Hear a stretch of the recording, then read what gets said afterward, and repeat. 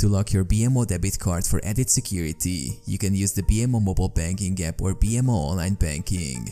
Here's how. BMO mobile banking app. Log into your BMO mobile banking app on your smartphone or tablet. Navigate to the cards section or find the option to manage your debit card. Select your debit card from the list of linked cards. Look for the option to lock or temporarily block your card. Follow the prompts to confirm the action and lock your debit card. You may need to provide additional verification, such as a security question or biometric authentication. BMO Online Banking. Log into your BMO Online Banking account through your web browser. Navigate to the Manage Cards or Account Services section. Find your debit card in the list of linked cards. Select the option to lock or temporarily block your card. Confirm the action by following the on-screen instructions and providing any required verification.